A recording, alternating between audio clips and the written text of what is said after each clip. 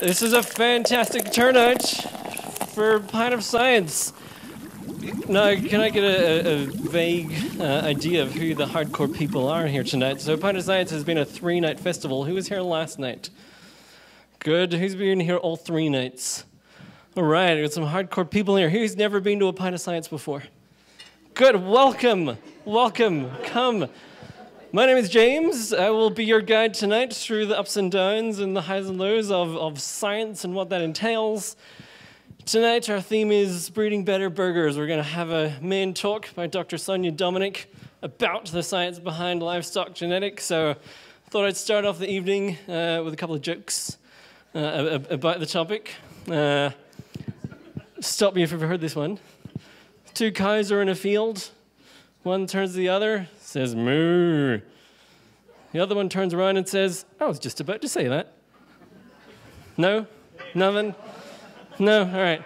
Uh, what, what's, what's a cow's favorite type of film? A musical. Uh, th th th thanks, thanks. That was much more of a response than that deserved. No, as I mentioned, of Science has been a three day festival, not just here, but internationally. So these three days all over the world, everyone is getting together, celebrating science. Just here in Australia, it's happening across 16 different cities at, what is it, 32 venues. That's a total of 88 events where we're all getting together, celebrating two things that make Australia great. First of all, amazing science. Second of all, beer that doesn't taste like a urinal cake which is something that other countries haven't quite figured out yet. So, I'd like to propose a toast to science. Cheers, everybody. now, it's important too that I acknowledge tonight we're meeting here on Anaiwan country. And it's really, I, am honored to acknowledge the traditional custodians and caretakers of the land and all their elders and communities past and present, particularly on a night like tonight where we're exploring and uh, really praising science, because what we do as scientists is we stand on the shoulders of giants, and it really was the traditional owners of this land that were the first explorers and uh, discoverers to really find out how we live in this harsh landscape that we call Australia. Where our, our, our five minute speak speakers are all uh, PhD candidates. They will be given five minutes. They will be given this clicker, which they can go through their slides. And I want to point out that this clicker has the mother of all laser pointers on it. Ready? Ready? Watch this. Whee! Whoa! I know, right? It's pretty fancy. So, make sure to make them very, feel very welcome. And our first speaker is Venus Morani. Veter, Venus, where are you? Come on up.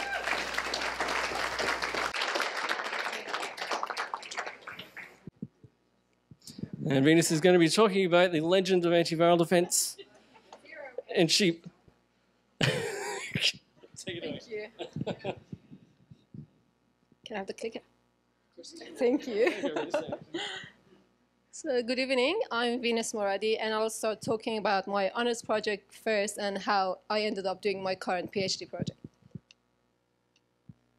So during my honors year, I worked on a gene called MX2 gene in sheep, which has antiviral activities. And it's one of the many, many antiviral genes um, that are part of the immune system. So MX2 gene is not only present in sheep, but it's all, it, uh, present in all vertebrates, including humans, mice, and cattle. in fact, cattle and sheep MX2 are 95% identical, which is a, which works for, um, uh, um, which is a good thing for me because if I find something interesting about sheep MX2, I could most likely apply it to cattle as well. So like I said, MX2 gene is an antiviral gene, and what basically antiviral genes do is try to get rid of the viruses when they're trying to get into the cell and infect the organism. Um, so the gene has been studied very well in mouse, and its antiviral activity has been discovered. So it's um, acting against range of viruses. Got here. The gene has also been studied in humans, and it has anti-HIV-1 activities. But what does the gene do in sheep? And the answer is we don't know, and I'm trying to answer that question. um, it is important to know the function of the gene in sheep because if the gene is um, active against some kind of viruses in livestock, um, then the farmers could genetically select the animals that are um, that have the normal version of the gene and eliminate the animals that have the mutated version of the gene. Sorry. so I was very lucky to work in CSIRO labs. Um, so what we did, we got blood samples from 100 animals, and then I extracted the DNA from all samples. Then using PCR technique, I cut out and amplified MX2 um, gene for all samples. And this is the cool bit, and that's probably the coolest thing I've done in my life that I'm proud of. Um, I was lucky. I was lucky enough to sequence my samples myself rather than sending them away to be sequenced.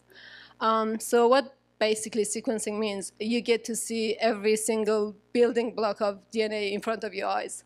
And um, what I did next was to align the sequences with the consensus sequence and look for variations. Because sometimes if there is a, even a tiny variation, like a letter of DNA being changed, oh, letter of DNA being uh, substituted with a different letter that can cause a whole lot of trouble. This picture might make my point a bit more clear. so in bunch of animals, um, in bunch of animals, we had um, one letter of the gene being substituted with another letter. Um, and that caused the production of a very, very short protein, which was most likely non-functional compared to animals that had the um, normal version of the gene. So this is the full-length MX2, uh, which is produced by the normal MX2, if you like. And as we can see, the gene is doing pretty good. And this is the size of the MX2 protein that is produced by the um, mutated version of the gene uh, from the animals that had the variant form of the gene. And as we can see, the gene is non-functional. and the virus is very happy. So, so this is where my honors project ended due to time and budget um, limitations. Um, but for my PhD project, I didn't want to do something different because I thought this is a full, um, this is a very cool discovery to um, find this mutation in Australian merinos, and I really wanted to keep going with the same project.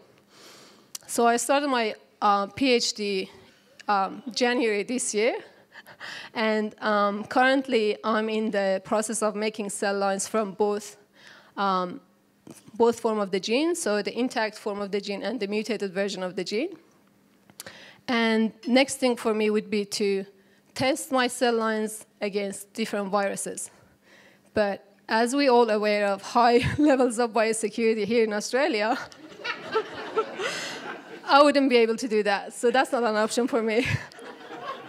so the next, the only option for me would be to um, travel over to Germany with my cell lines and test German viruses against my cell lines. um, so during my, for my PhD, I'm not going to work only on MX2 genes, so I'm going to discover few more, or work on few more antiviral genes.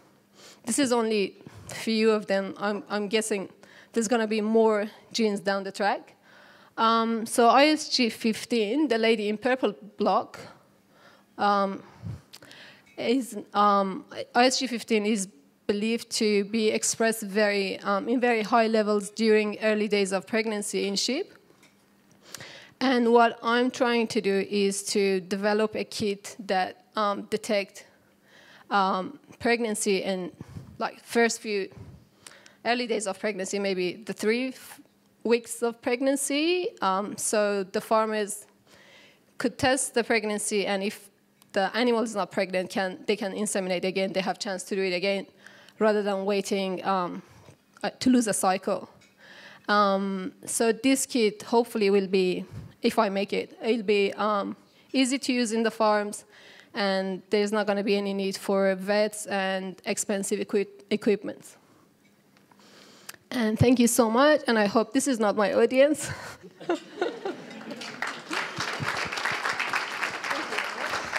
Oops. All right, thank you, Venus. Maybe the first scientific presentation I've seen with the pair of boobs in it. Uh, let's see if our next speaker can one up that. I'd like to welcome Annika Alexander up to the stage. Annika, a round of applause. I'll give you a in about two minutes. And... My name's Annika, and I'm a student at UNE, and I'm doing my research project with CSIRO. I'm going to give you a, a little taste of the project that I'm working on at the moment. Um, but before I begin, I'm going to assume that most of you here have felt stress at some point in your lives. And have you ever wondered what's happening in your body when you feel that stress and whether it has an impact when you go and have your flu vaccine? Well, I can tell you that when you feel stress, whether it's from running away from a wolf through the forest or in the lead up to a talk like tonight, same feeling. Your body releases a hormone, a stress hormone called cortisol. And cortisol, in turn, triggers a quick release of energy to get your body ready to respond to that threat. If you don't use up the energy, it stays in your system and you feel shaky and jittery. Now, we know that sheep also release cortisol in response to stressful situations, like marking when lambs are given ear tags, vaccines, drenches, might have their tails removed, and weaning when they're separated from their mothers and have to learn to fend for themselves in the paddock. So, researchers have actually found that um, cortisol, the stress hormone that's released when you're stressed, has an interesting impact on the immune system. Um, in the short term, say you're running for a bus that's pulling away from the curb, cortisol um, causes a release of immune cells to flood into your system and fires it up, um, getting it ready to respond to that threat. Um, but in the longer term, the same hormone, cortisol, starts to actually um, cause a downward trend in the immune cells, bringing them back to a baseline level. If, however, the stress lasts longer, so say you're worried about a life decision like doing a PhD, and is that a good use of the next three years of your life? Um, that downward trend continues and can lead to immunosuppression, um, which can leave your body vulnerable to um, disease and illness. And you might yourselves have felt if you've been stressed or worried about something for a long time, you get sick more often. You might get the flu or just start to feel um, quite ill. Immunosuppression is also a bit of a roadblock in the pathway to successful vaccination because you need a healthy immune system to be able to respond well to that vaccine and create those memory cells that will help to um, defend you against any attack for, or attack um, any disease that might enter your body. So my project is has looking at three points. One, what happens when we vaccinate lambs at a short term stressful event like lamb marking? Will the lambs have a good response to the vaccine because their immune system's fired up in response to that first burst of cortisol? Um, number two, what happens when we vaccinate lambs at the same time as a longer term stress like weaning? Will they have a poor response to the vaccine? And third, why do we care? Well, lambs that respond well to vaccines are happy and healthy. And healthy lambs and um, healthy sheep mean a healthy flock, which can lead to higher productivity. And higher productivity means happy farmers. So that's a good chain of events. But how could you not care about the health and well-being of these little guys? Healthy, happy sheep and farmers. So for my project, we measured the immune responses of lambs that were vaccinated at the same time as a short-term stress, lamb marking, and we, we measured the immune responses of lambs to a long-term stress, um, uh, sorry, at the same time as a longer term stress, like weaning. And we also, also measured the immune responses of lambs that were vaccinated separately to marking and weaning. And I'm working through those um, measurements in the lab at the moment and hoping that the results will give us a good, indicate, a good indication of when to vaccinate and when not to vaccinate. And that's it. Thank you to all my supervisors and cheers.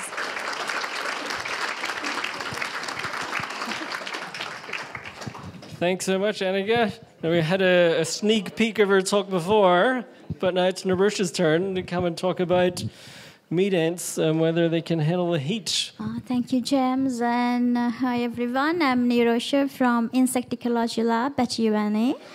So we study different types of insects in our lab. We study about meat ants, dung beetles, uh, stick insects.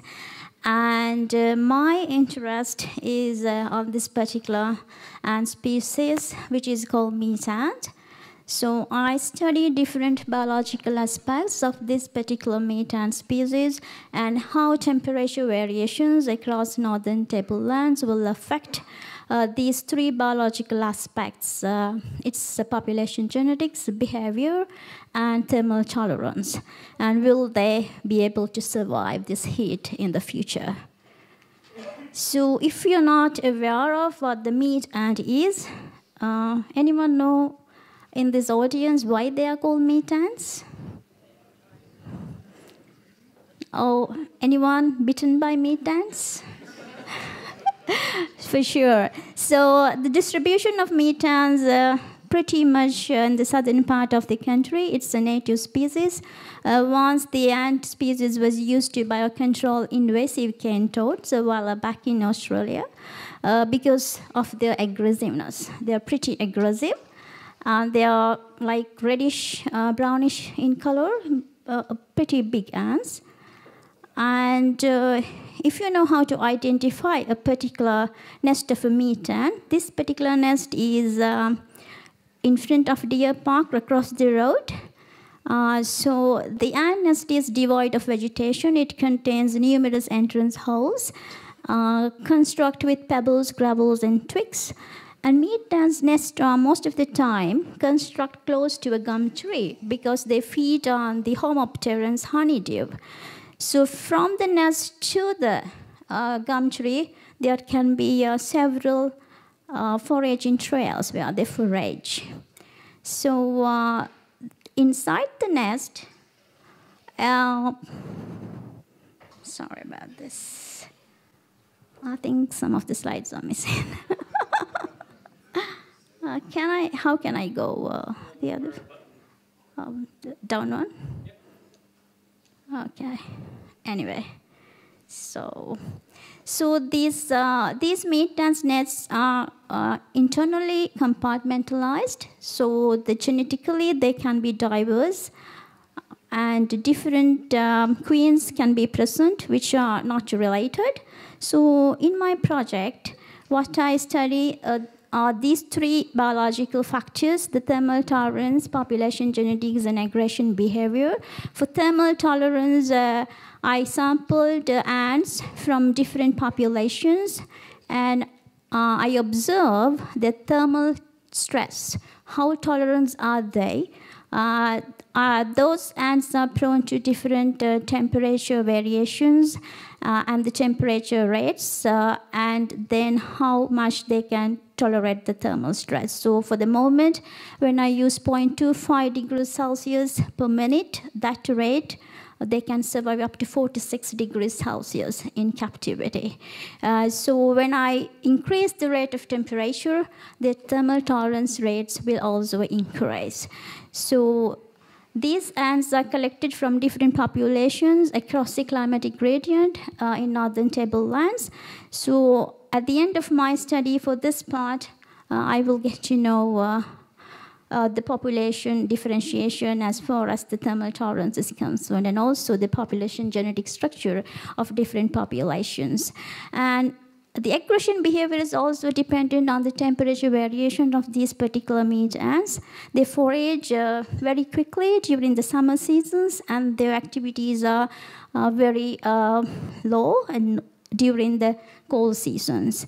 So as I mentioned that they are pretty aggressive species and if you are exposed to a meat ant nest, if you're disturbed, they will uh, come in large numbers and bite you and as well as they are pretty aggressive against their counter uh, conspecifics uh, from different nests. So this particular slide, a very short video, show, will show you uh, attacking ants, this particular one ant from a different nest is attacked by some other ants uh, from a resident nest. So uh, they are pretty aggressive, and uh, even when I was videotaping this, I was attacked by several ants, to be honest.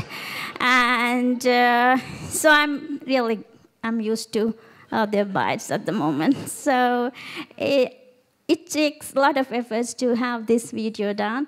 And uh, so you may have known about ants as annoying species and they bite you, they can be pests, but ants have ecological importance as well. They uh, uh, are very useful in uh, aeration soil and actually uh, doing uh, uh, seed disposal. So make sure that you know the positive things about ants as well.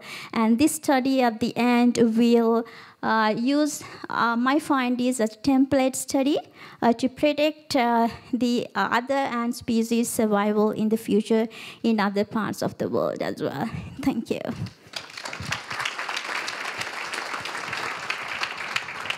Cool, thank you, Narusha.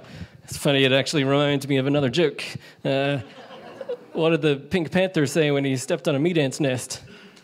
Didn't, didn't, didn't, didn't, didn't, didn't. All right, Jeff, where's Jeff? Jeff Kirkland is our next speaker, and I have no idea what this talk title means. I'm very keen to hear what it's all about. Thank you. Forwards, backwards, pointer. Perfect. Hello, everyone. I'm very excited to talk to you guys today. Um, I'm an environmental chemist, and as an environmental chemist, I'm always excited to explain things you see every day with chemical detail. Um, thank you, Erica, also a chemist. Before I get started into, into, my talk, one of the big things in chemistry is making very precise measurements of quantities. So before I go into my pint of science, we need to be a little more specific than that. So there's an imperial pint, which is equal to 568 milliliters, or mils.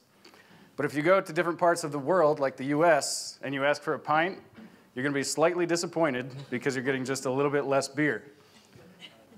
But if you go to Quebec, or maybe even France, and order a pint, that actually refers to a quarter of a gallon.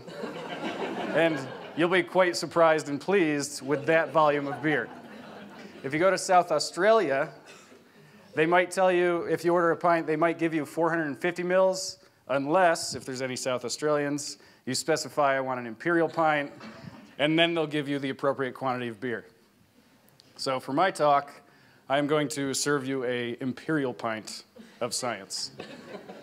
and my topic is how do we suspend water in air? So I said that I, I like to explain things that we see every day with a little bit of chemical knowledge.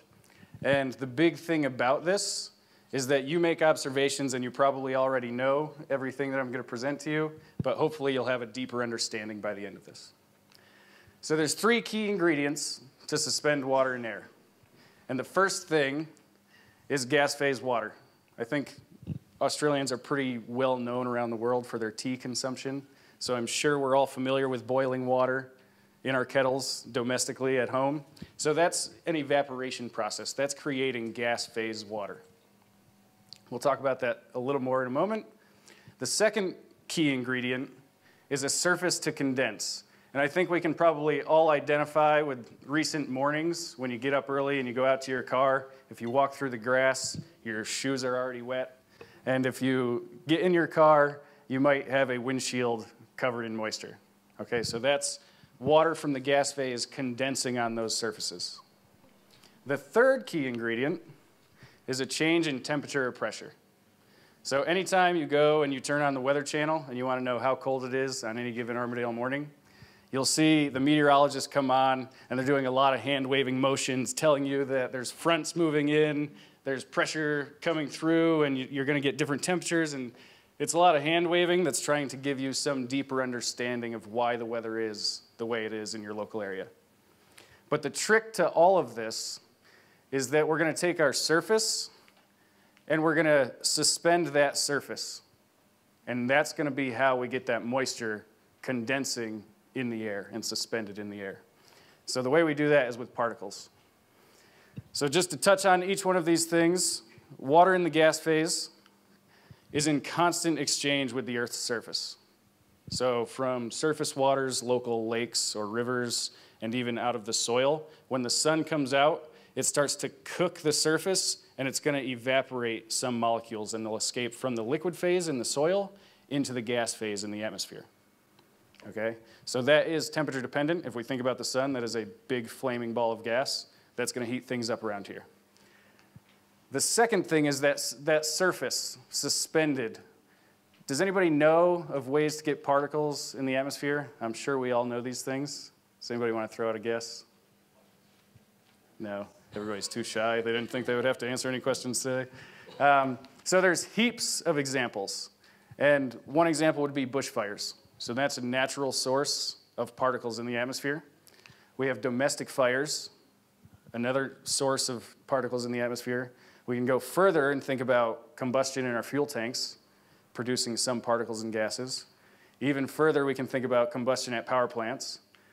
We can think of cuter things to, that produce particles, but pet dander, anybody that has a family member with allergies will tell you that they have some sensitivity. It's because there's particles landing on their olfactory nerve in their nasal cavity, and they're sensitive to that.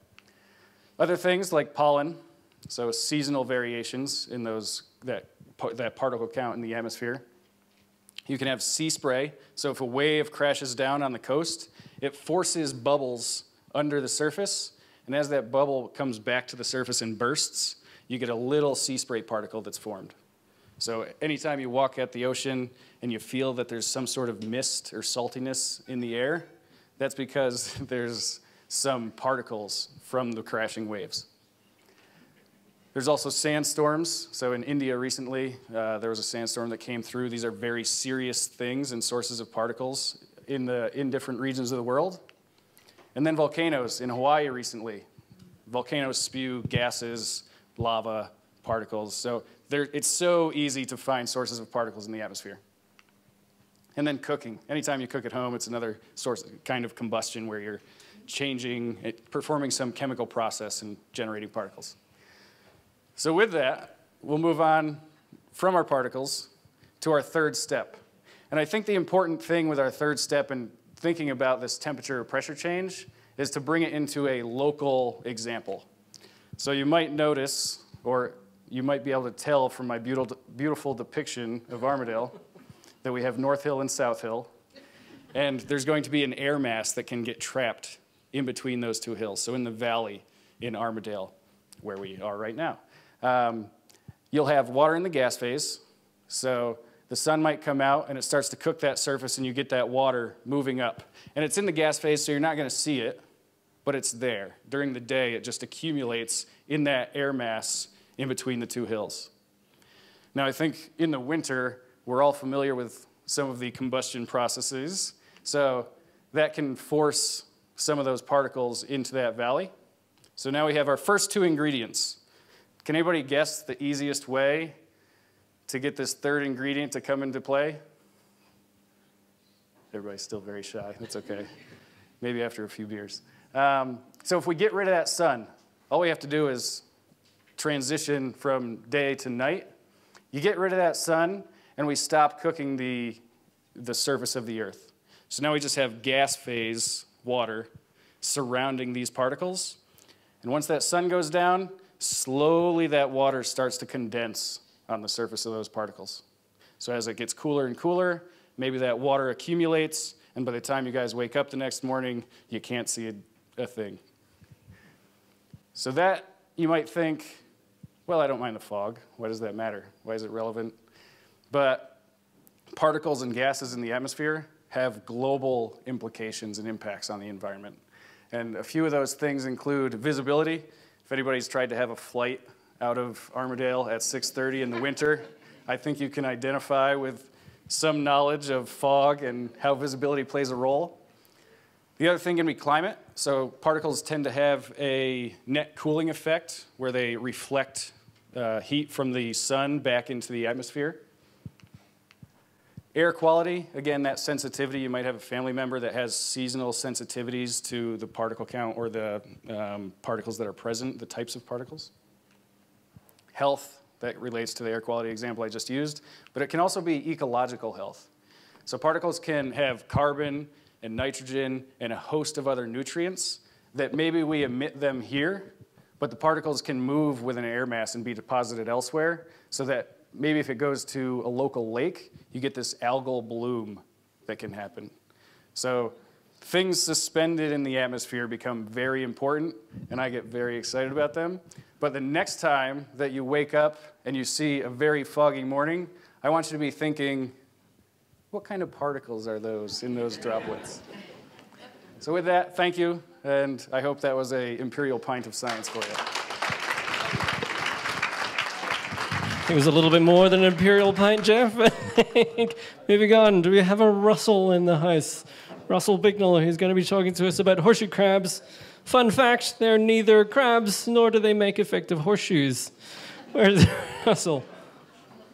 Here he goes. Take it away. Alrighty. So we go forward, backwards, pointer. Awesome. Cool. All right, yeah. Good evening, everyone. My name's Russell. I'm a PhD student in theory and paleontology, sort of also biology, and yes, I'm a Kiwi, so apologies for the accent. All right, so what are horseshoe crabs? Well, he just ruined like this slide. So they're not actually crabs, nor are they horses, and you probably could wear them as shoes if you really gave a go, but they're probably not shoes either. What they are actually are these guys here. So today there are four species of horseshoe crabs, but um, they have a really extensive fossil record. It goes back about, I don't know, 480 million years. So before the dinosaurs, these things were doing their thing. And today I'm going to talk to you about what I'm doing with these guys. To give you some background of what's led me to construct what I'm going to talk about today, I'm going to give you some research that I've done. So these are horseshoe crab teeth. Yes, I cut them in half and I looked at the insides of their teeth. I've chucked them in a CT scanner and then turned them into pretty colours. I've doused them in iodine and looked at their muscles and then turned those into pretty colours. I've done some really funky, crazy, insane, over the top, slightly alcohol inducing analyses that have resulted in some nice, pretty, colourful pictures. And that wasn't supposed to happen. Well, what I would have shown you there is an example of injuries on horseshoe crabs. There we go, look at some more injuries. So those are injuries to the tail of them.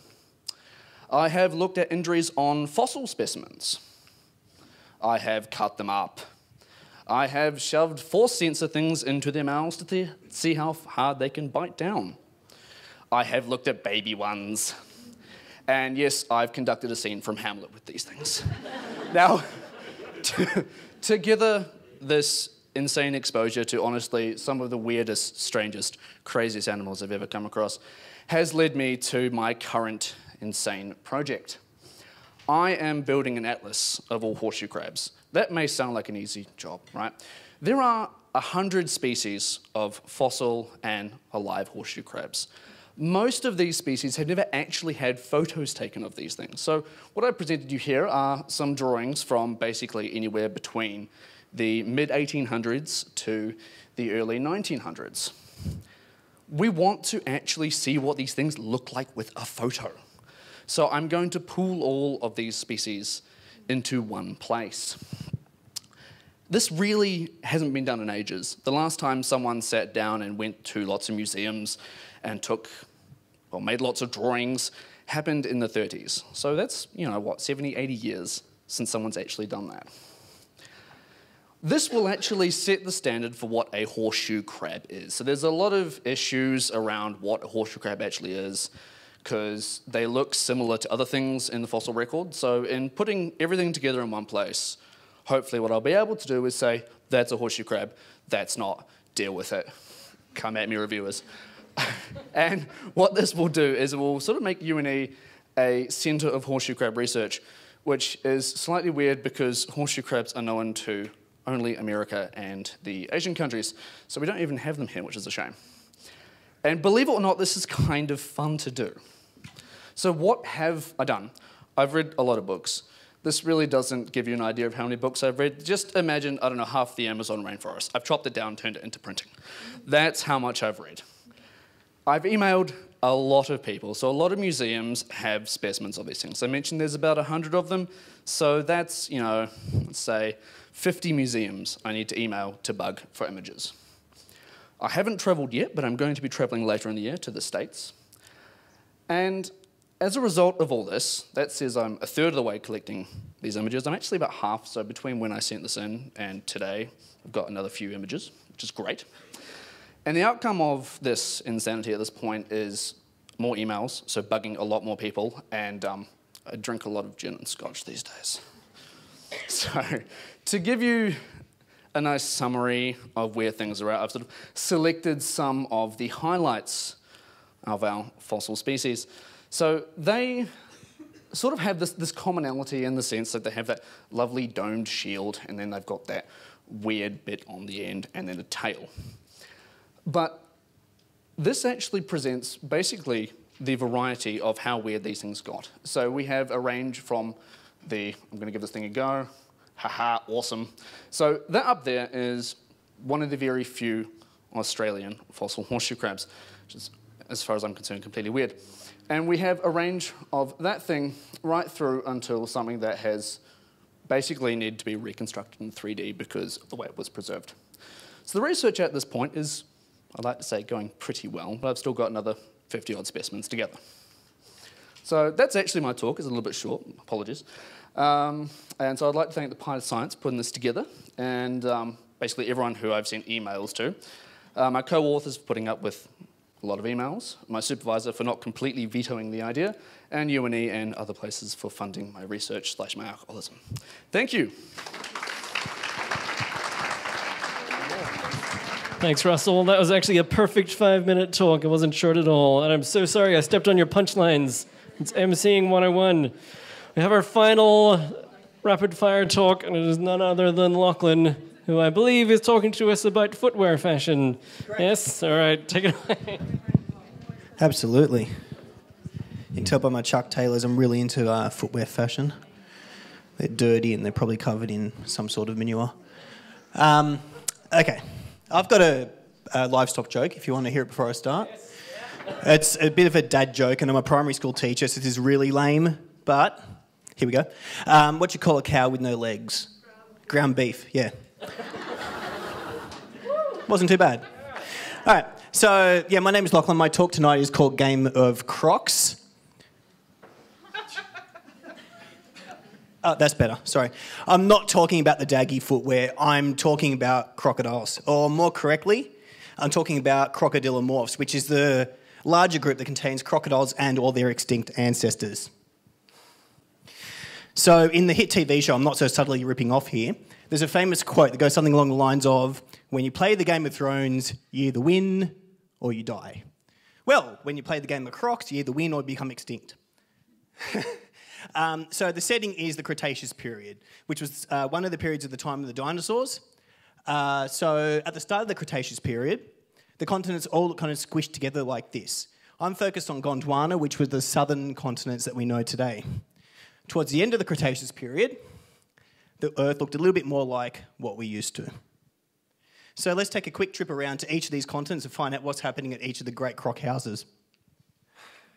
First one is House South America.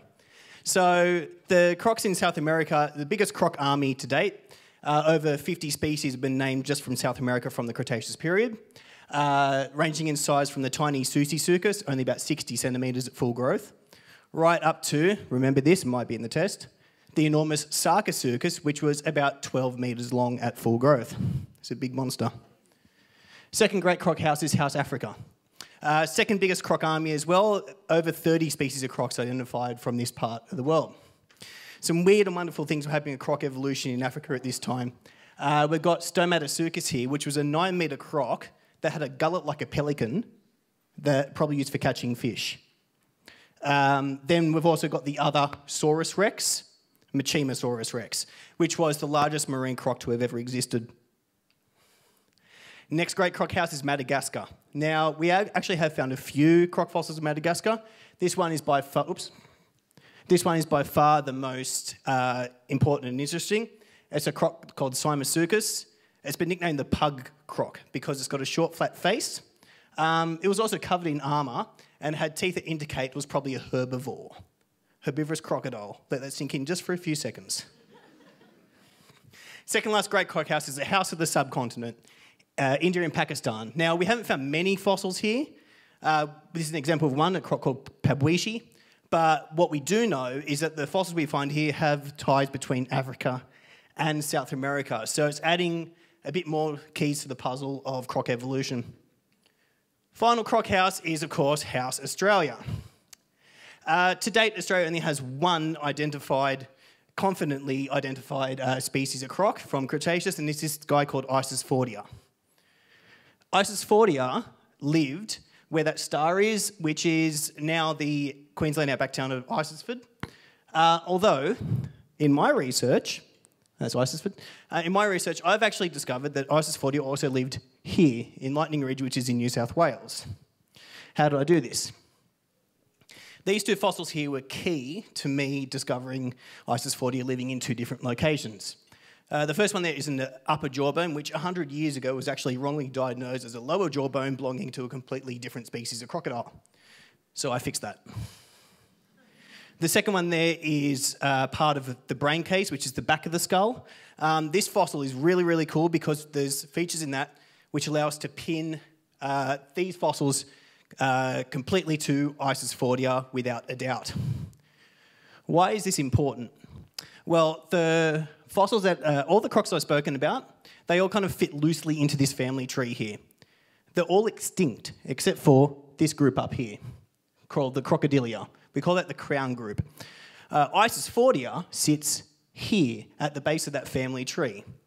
So, in other words, Isisfordia is the oldest known member of the group that contains living crocodiles. It's the grandmother of all living crocodiles. So its bloodline still exists today in two species of gharials, two species of alligators, 14 species of crocodiles, and six species of caimans. It's a pretty impressive bloodline. I've only got four kids. So, who wins the game of crocs? Well, in my opinion, Australia wins the game of crocs. It's pretty clear, actually, that Australia wins the game of crocs. Isisfordia wins the game of crocs. because its bloodline still survives today. And seeing this isn't a TV show, we don't need to wait two years to find out how the story ends.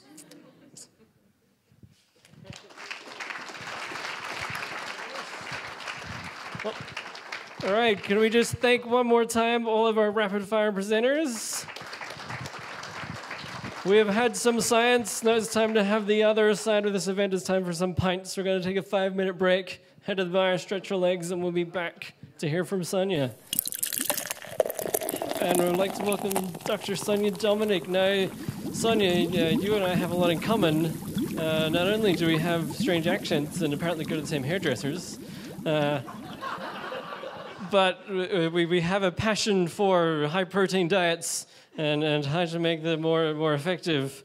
And you're a quantitative geneticist uh, from UNE and with the CSIRO. I'd like to make her feel very welcome, Dr. Sonja Dominik. Take it away. Thank you, James. It's actually exciting if someone in, um, announces doctor. Normally, that only happens when you board a plane. Welcome, doctor. You sit on somewhere. So thank you. Um, I have to correct you on one thing. I'm, I'm an adjunct with UNE, but I actually work with CSIRO.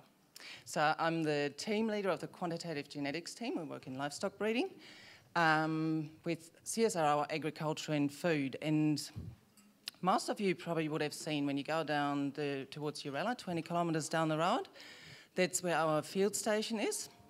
We got about 40 staff members. Um, and it's a, a, working property of 1,500 hectares with uh, 8,000 sheep and about 300 head of cattle. Next to research in genetics, we also do research in health and welfare, and Danila talked yesterday about virtual fencing. Uh, and also, we develop measurement technologies for livestock. So I was quite excited when this call came around to put your hand up to talk. I went to most of the talks last year and as well this year, and I think it's a fantastic opportunity to actually share some of the work that, that you do. But I had quite a selfish reason as well to put my hand up because I want to improve the barbecue conversation for quantitative geneticists. thank you, thank you, Kim. She knows exactly what I'm talking about. Just to give you an example, I'm, I'm, standing somewhere barbecue with a friend of mine from zoology. Someone comes over and says, What do you do?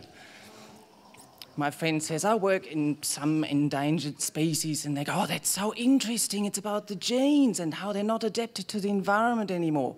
So I get quite excited because I think yeah, they're going to get what I'm doing. They go, oh, what do you do? And I go, oh, I, I work in livestock breeding. And then I just get a, ble- a blank stare and I go, Do you clown? I'm sure some of you might have thought, oh, I wonder if she clowns. And she doesn't clown. she doesn't clown, she doesn't genetically modify or gene edit. So I'm a computer based scientist and we develop tools for livestock breeders to uh, select their best animals for the next generation.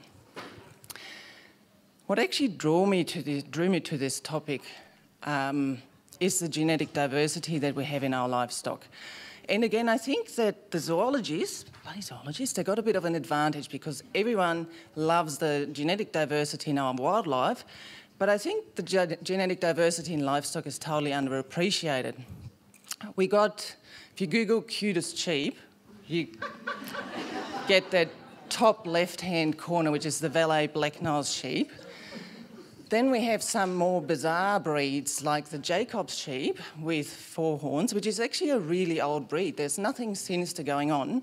So I didn't find why someone decided to breed for multiple horns, but I assume its horn had well, sort of a sign for power. So they thought if it has four horns, it's more powerful.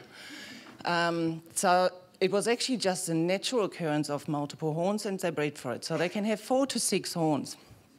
We got our Scottish Highland, um, but we also got breeds that are adapted to the nutritionally poor environments or warm environments like the Brahman, the Dorper sheep. So there's a lot of fascinating breeds out there.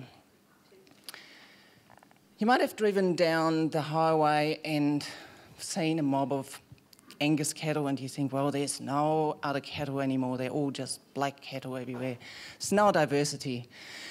So hopefully today I can give you a bit of a taste for what sort of a diversity there is and the difficulty of the task that breeders actually have to differentiate between the different animals to work out which are the genetically best to select to pass on the best genes to the next generation. So we've got a pretty diverse audience here. I know there's a few colleagues of mine from the university and from AGBU and hopefully they get a bit of a laugh at times. I don't think they'll learn much, but I hope a lot of you will take something home as well. Now, we start right at the beginning. One single gene. We got all night. There's a lot of genes. so there was a, a, monk in Austria, Mendel, and some of you might remember Mendel's peas. So he loved peas. And he was actually the first person who sort of developed the notion that there was a single unit that um, determined what offspring of a cross would look like. So he did lots and lots of crosses and looked at various characteristics of peas and worked out the rules, um, what these crosses would produce and what sort of um, what what their genes would look like. So in this case, we look at two peas, a yellow pea and a green pea. They carry a gene for colour, which we indicate with a C. And these two are crossed, probably as well, for explanation. So the yellow pea, each pea carries two copies, not two copies, carries two versions of, of the gene. One um, and it's called allele. So one allele comes from mum, one allele comes from dad. The yellow pea has two yellow alleles. The green pea has two G alleles. When they cross, they pass on one allele each to their offspring. So all the baby peas will have a Y and a G. Now they're all yellow, even though one of the parent is green. Now that's what we call recessive. Green is recessive, yellow is dominant. And it's a bit like rock, rock, paper, scissors, so you don't actually have to remember the words. Yellow just always wins. Yellow's dominant, yellow wins. So if you now cross two of these peas that carry a Y and a G, you get a range of different baby peas. Some get two Ys, some get a Y and a G, and we get a green pea that gets the two Gs. So these three on the left are yellow because they carry at least one copy of the yellow. Yellow always wins. Now we move from the colour of peas to the colour of sheep. The colour of the wool is important because only white wool can be dyed, and the merino sheep is highly selected for white wool. However, every now and then you get a black lamb in people get black lambs in their flock, which are undesirable. Now, behind, oh, can't actually see, but I'll get to that. Now, behind the colour, um, there's one of the genes is called the agouti signaling protein gene. And there's trivia questions too, so just saying. So we call it as well the ASIP gene. So in terms of what was the C before for colour, we got here the A for the colour gene. And the white sheep has two copies of, uh, two alleles of white, whereas the black gene, uh, the black sheep, you can't see, has two copies of black. The black is recessive, the white is dominant, white always wins. Now, we require some audience participation. There's some cloud looking things on your table. They're actually little sheep, so they're black and white. Fantastic. So I will show you some crosses, and you will have to give me a show of sheep if what colour the offspring are going to be. So here we have two white sheep. They both carry two alleles of white we cross them, what colour are the offspring? Excellent. I was actually offered to throw stubby holders, but I thought it was a bit dangerous. Do this later. So that's great. it was an easy one, warm up. Now, an unlikely cross. We got a white sheep and a black sheep. The white sheep carries two copies of white, and the black sheep carries alleles, not copies. Otherwise, it gets confusing later on. And the black one carries two alleles of black. What color are the offspring? Fantastic. I must be really good at explaining things. So, one allele from each parent. The offspring will have one white, one black. White always wins, so the sheep are going to be white. Now, this is a bit trickier. We got a sneaky sheep here that actually carries one copy of the one allele, black allele, and one white allele. It's white because white always wins, so we don't actually know that, like, we couldn't tell, but just by looking at the sheep, that it carries a black allele. The other one has two copies of white. What colour are the offspring? It's too easy. So they all got at least one copy of white, and white always wins, they're going to be white. Now we have two sneaky sheep. Ooh, this is a hard one. they both carry one allele of white, one allele of black. What colour are the offspring? That's exactly right. So we get some black ones and we get white ones that carry at least one copy of the white, and they're going to be white. So that all seems to be pretty straightforward. And CSIRO actually went on the quest at some stage to develop a genetic test to then test, to work out because you can't tell from just looking at these animals that they carry black. How do we identify them, and how are we? Um, how can we select against them? However, it's actually not that simple. So the black sheep has the two alleles of black, has one single copy of the ASIP gene. White sheep have actually two copies of the ASIP gene, or three, or four, or five. So there's multiple copies of the same gene, one after the other, only in the white sheep. So some of the copies can then have the black alleles, but because if they have one white allele somewhere, white always wins and the sheep are going to be white.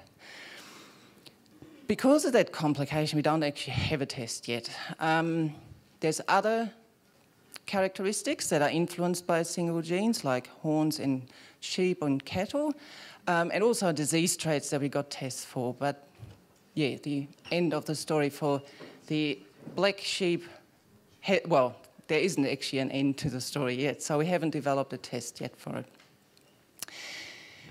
Now, knowing a little bit more of some of the things that can actually go on um, in something very simple like colour, um, it might give you a bit of a different appreciation for what you actually see in this paddock of, of Angus cattle. Um, more importantly, we now actually upscale. We don't go to two genes, we go to thousands of genes. so the characteristics in, in livestock that we're mostly interested in um, are growth, reproduction, uh, meat quality, wool characteristics, and they're all influenced by thousands of genes. So we need a tool that actually captures that um, because whatever is we see in the paddock is a combination of the genes and the environment. So the job of a quantitative geneticist is to basically collect a lot of data, throw it into a computer and try to get strip all the environmental effects away and get a good picture of the genetics of a particular animal. To explain that concept, I pick a trait which is height, I'm a very tall individual. Got a bit of an environmental effect happening there with some heels. Um, but we don't know if I'm genetically tall or maybe in the year that I was born in, there was something in the baby formula, and all kids that were born in the same year actually grew really tall. So we don't know that. So we look at my parents first. This is me before I went to James' hairdresser. um, so my parents are actually fairly tall. Um, we can assume, yeah, it, it might be a genetic effect, but I wasn't actually a single child. I have a sister who's on the left, who she just started school at that age, well, at that um, time. and she was six years of age. So that's me on the on the right there. There's Granny and my mum. I was quite clearly three years of age, and we were the same height. So we got the same parents. We do have the same parents. We share 50% of genes. So maybe I just got a whole different set of genes for height than my sister did. Is it genetic? Is it still that baby formula effect? We don't know. So we might look at some unrelated friends. That's me and a friend just starting school, and the same friend, a little bit younger age, probably again three. Um, that's me in the yellow jumper, my friend on the left, and my sister is with a striped jumper and her two friends. So, as we can see, an unrelated friend of mine of the same age is quite short. So baby formula certainly was not the cause for my height. So we can assume it was a genetic effect. I just got a whole different set of genes for height than my sister. No, 50% different set of genes from height for my sister than my sister. Um, so if I would have been really prolific, I would have had a basketball team, whereas my sister would have had a bunch of jockeys. and that's pretty much the same concept that we use in livestock.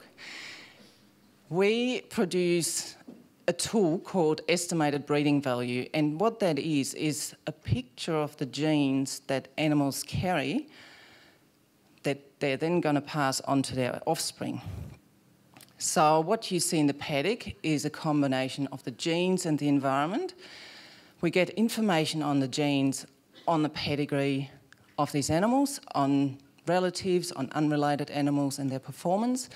And we get other environmental information the age of the mother, what paddock they grew up in, were they male or female.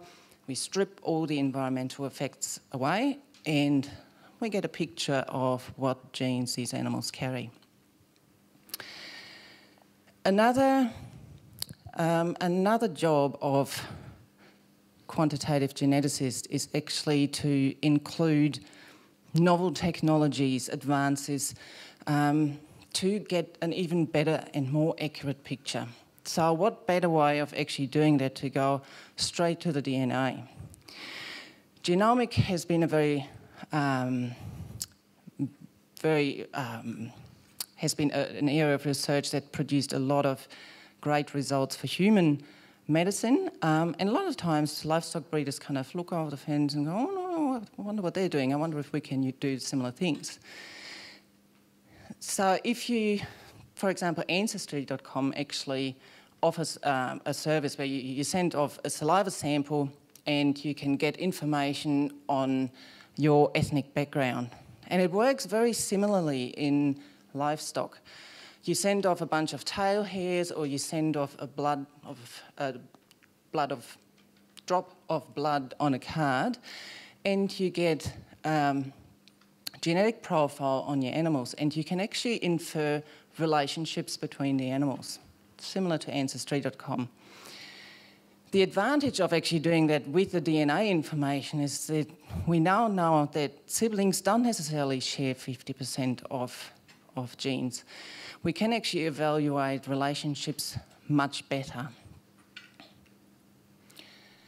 So we can use DNA information plus the environmental effect, well, we strip the environmental effects away, but we use DNA information and we get genomic breeding values. So where we might have an estimated breeding value or several animals with the same estimated breeding value, they can have different genomic breeding values because we actually got more information to make that differentiation. Genomic information is really powerful, and just to finish off, I want to share one other story with you. Um, a producer approached us and, and sort of came up with the problem that he bought a few bulls from, from a stud and he was wondering the stud was in quite a different environment to his environment obviously lower stocking rate um, temperature was different so these bulls produced a whole heap of daughters, and he wondered which one of these bulls actually produced daughters that were had really good reproduction, and which bull produced daughters that didn't have very good reproduction. So this particular producer did not collect any pedigree information. So he had the daughters and he had the sires. So what we did at the time of pregnancy scanning, uh, when the daughters were brought in, they were scanned not pregnant or pregnant, so we knew they were reproductive or not. And we took a blood sample and we put the blood sample together and got a DNA profile on that pool of blood. We also got individual DNA profiles on each of the bulls. And then we did sort of a bit like a forensics exercise. So if you actually have a pool of blood at a crime scene and you have three possible contributors to that blood in the crime scene, you can actually work out who contributed. So that's a very similar approach. So we have one pool of blood of non, non-reproductive daughters, one pool of blood of reproductive daughters, and through comparing um, the pro DNA profile of that pool and their sires pool and that pool, we could work out which sire actually had the daughters that were pregnant. So it was really important information for this particular producer because he could then say, okay, this is the bull that, that I want, and this line of sires, we want more of that. It's also quite important information that could go back to the breeder because this is a performance in quite a different environment to what they actually see in their own herd.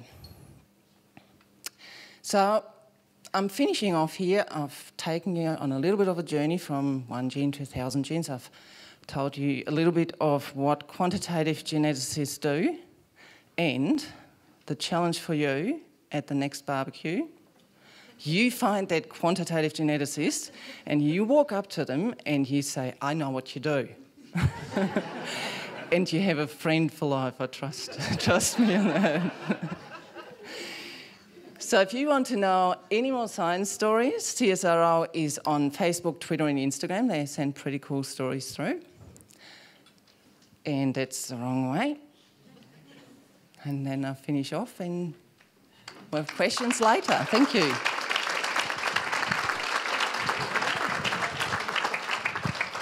Thanks, Sonja. Now, I once heard a story about a cattle breeder whose cars got out and broke into a nearby field of marijuana. It was a tragedy. He couldn't sell any of the meat. The stakes were too high. Uh, anyway, how about we do some trivia? Uh, we should also announce you put in all your votes for our rapid fire speed talk, and we can announce the winner of that. Braden has got the prize that we're giving away to our Rapid Fire Speed Talk. This is an iPad brought by the School of Science and Technology at UNE. And the winner is. Not here tonight. It is Alan Ezzy who did a great talk on Monday. So, round of applause for Alan. We'll get that to him any moment now. you, but you all did wonderfully tonight. Well done. It's a very close race. Now, I'm going to uh, open the floor to questions. Here's your chance to pick the brains of any one of these scientists. We have a roaming microphone. The Michael's going to bring around, so stick your hand up if you have a question, and we'll bring it out to you. Anyone? No, sweet, let's go. Pretend for a second you have to ask a question and try and think of We got one up the front. Let's go for it. Um, what was the smallest crocodile that ever lived? I don't know. um, the one that I mentioned uh, as a comparison to the other South American species, so Susisuchus, uh, was only about 60 centimetres at full growth, um, so just over half a metre. Um, that's pretty small. Um, Sure is. There's a, also, there was also a croc called Microsuchus, so I'm assuming that guy was pretty small too. Yeah, I mean, but the I guess the, the longer answer to your question is that um, there was a massive, massive diversity in crocs in the extinct forms than what we see now. So there were, as I mentioned, crocs that were herb- herbivores, um, some that were omnivores, some that were carnivores, like we know now. Some lived entirely on land. Some were semi-aquatic, like the living ones. Some spent their whole life in the water. Um, there was ones that were really small. There was ones that were really big. There was ones that lived in trees. There was ones that lived in burrows, um, covered in armour. Yeah, the list goes on, and I could just ramble, but I won't. Um, but yeah, so there was lots of different ones, and their diversity was probably at the time probably rivaled the diversity of some of the dinosaur groups. Um, not now though, because we've got birds which are way more diverse than anything else we know, All right. and birds are dinosaurs. Good, good. Important take home message. any, any other questions? Oh, we got two over here.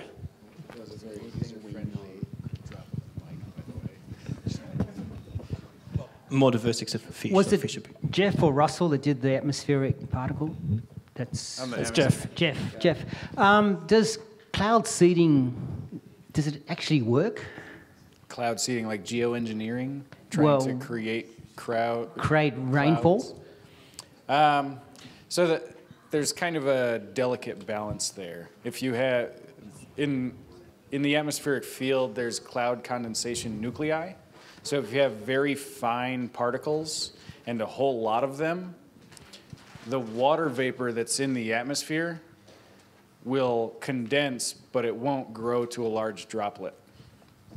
So you'll have a lot of tiny droplets present, and it might not rain, is the, I guess the appropriate um, parallel there, concept to consider. So if you try and inject massive particles in just a few of them, maybe all of the water will condense and you'll get these giant droplets. So sometimes when it rains, you get this mist that takes forever and just lasts forever. Other storms might have these massive droplets, and it might be due to fewer particles in the atmosphere when the storm developed. So all of the water condensed on fewer particles, so you get these larger droplets. Um, I think I've effectively, effectively avoided your question. So, so, yeah, what did you ask? well, does it work? Because um, I'm from Tasmania and um, they do cloud seeding in the southwest to fill all those dams in the Franklin.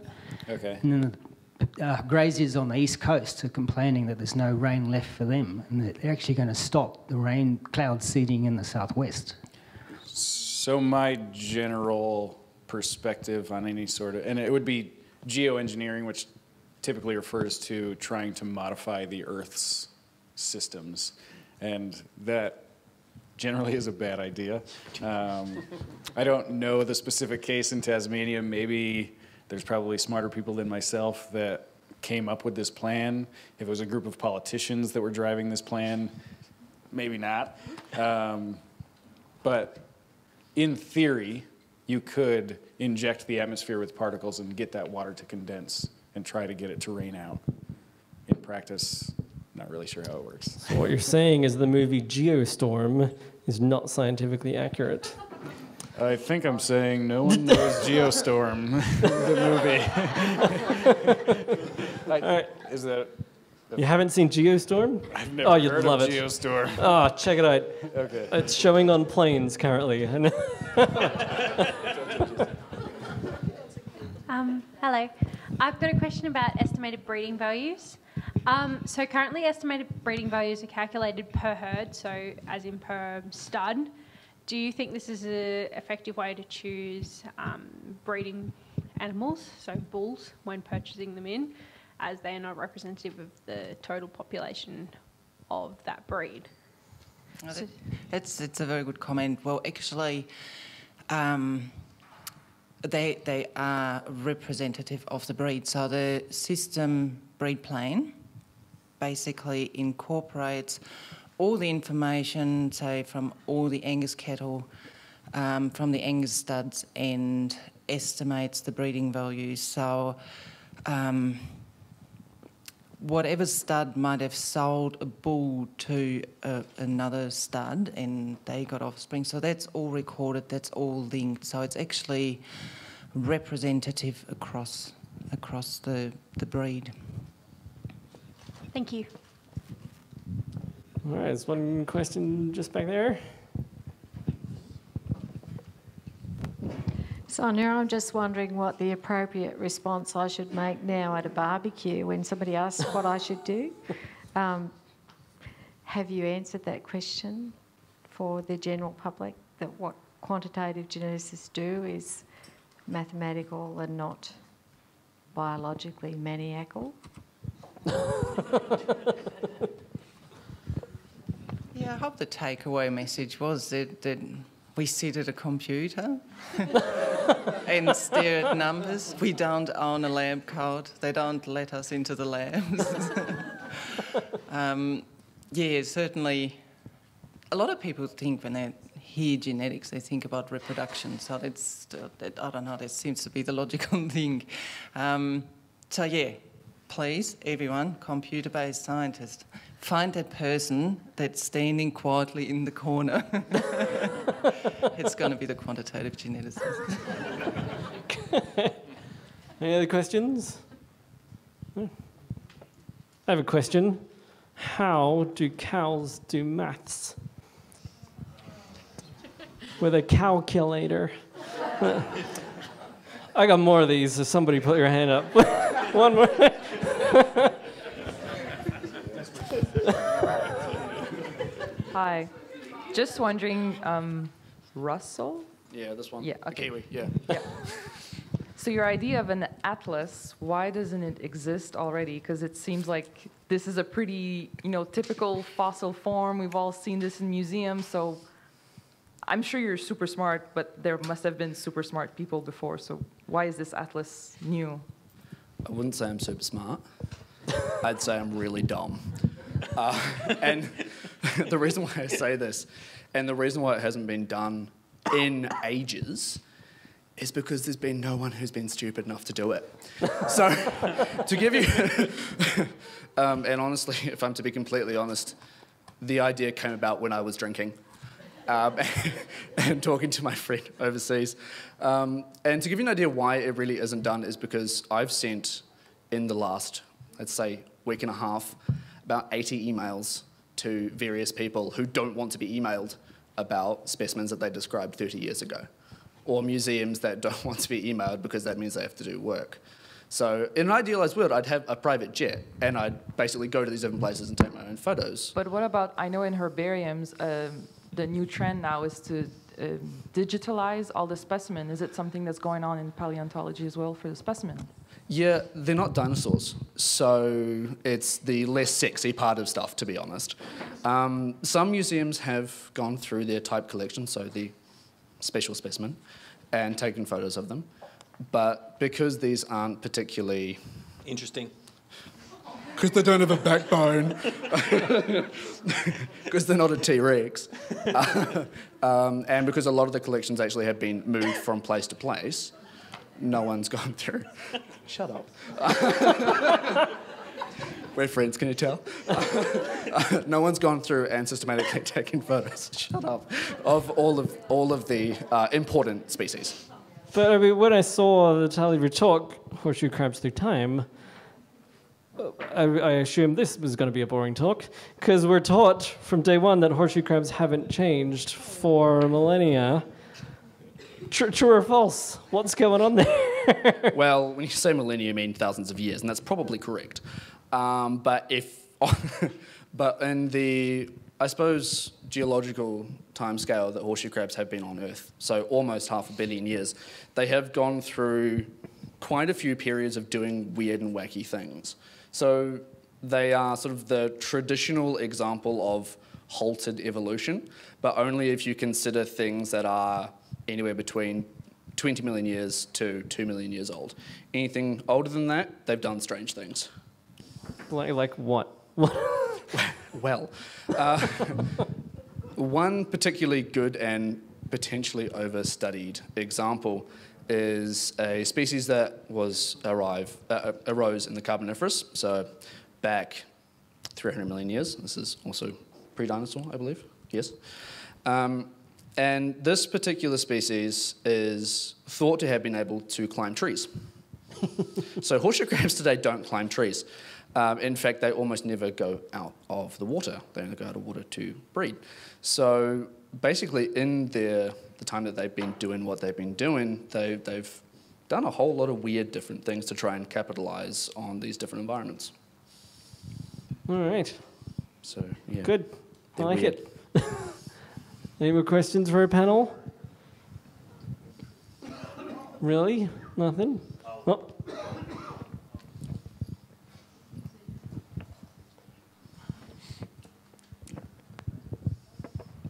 So I'm thinking about the game of crocs. Yeah. And there's a lot of extinctions going on. Yeah. And so I'm interested in whether ice ages have caused any of these extinctions and whether the crocs were afraid that winter was coming. Do you want an answer, or do you just wanted to make the joke? What's what are we? I'm, I, I probably should have ended my talk like that. Because it's a much better ending. Um, do, do, do you want like a, a sensible answer or a silly answer? Um, if you uh, okay, so ice ages didn't technically cause any extinctions that we know of. Um, so there's been several great extinctions through the history of the Earth. Um, and the one where a majority of these croc species I was talking about, um, they were wiped out at the same time as the dinosaurs were about 66 million years ago. Uh, the current consensus is that was caused by the meteor impact at the Chicxulub uh, crater in Mexico. Um, that was the, one of the catalyzing factors of that extinction event. Um, but that wasn't the biggest in all of history. Uh, the biggest one happened at the end of what was called the Permian period, where there was over 90%. Tom, tell me if I'm wrong. Yeah, good. Um, so, yeah, over 90% of all living species died out at the end of the Permian, which was, how long ago was that, Russell? Oh, yeah, sometime. Yeah, then. Sorry, Tom's got the right answer. 252 million years ago. There you go. There you go. So, 252 million years ago was the greatest of all extinction events. Um, yeah, so that was pretty bad for those involved.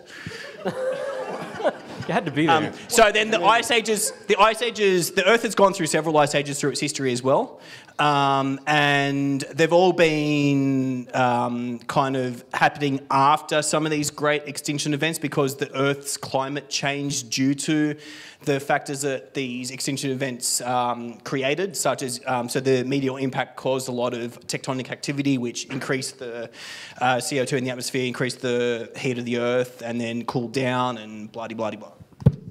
Is that good enough? Winter's coming. Actually, it's here. It's really cold. All right, we have time for two more quick questions. No, I have a question for Venus. Actually, this uh, MX2 thing, uh, it's attacking, it's attacking HIV. We didn't really get time to go into the actual process of it. What's the gene actually coding for, and how is it killing HIV? And do we know? I think is a good question. Um, so I'm not sure about the exact mechanism, Hmm. and the thing that's been done so far is only on um, in cell culture, not in actual human. yeah. So it's, it's work on cell culture, but um, not in real human yet. So I guess you just have to wait uh, for a clinical trial. See you back here next year. Yeah. Update. oh, I don't work on humans, so I'll come back with some sheep uh, messages. maybe. it's fine. Sheep are great. Yeah. Anyone else? If there's nothing else, I'm going to have to ask the final question. All right, did you? Oh, go on.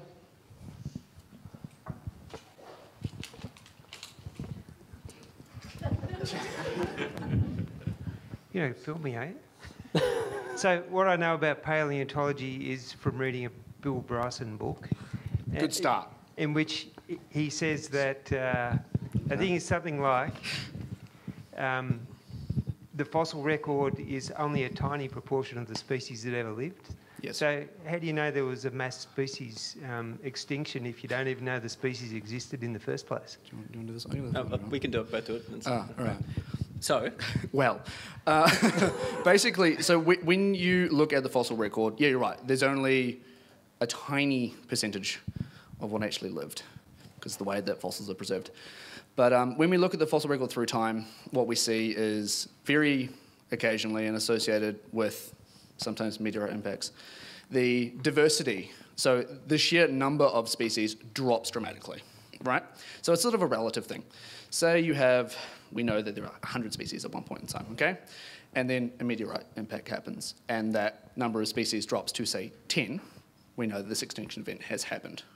Yeah. So, for example, um, the the crocs I've been studying. Uh, towards the end of the Cretaceous, or throughout the whole Cretaceous, I should say, there was over 100 different identified species of crocodile, crocodiliforms just in Gondwana, so just the southern continents of the world, not counting North America and Asia. Um, so it's over 100 just in that time period, just in the bottom half of the world. Um, and now there's only 22 species of crocs alive. So um, there could have been, you know, a lot more. We, we, They wouldn't necessarily be at the same time either. would they? um, no, no. So the the the, the Cretaceous um, spanned from 140 million years ago to about 66 million years ago. So that, what's that? Someone that's good at maths, about 80 odd million years of time. Um, and the actual lineage of the crocs, crocs extended back into the Triassic, which was 220 something million years ago. So we're talking about a really long lineage where there was ups and downs throughout its whole history. Um, Thank you. Yeah. Thanks. All right, well, my, my, my final question Did you hear the one about the cow that was knighted? They called him Sirloin. S- k- s- like, you know, like Sir, like the, the title, but also the cut of beef. Round of applause for our panel, and thank you so much. We'll see you here next time.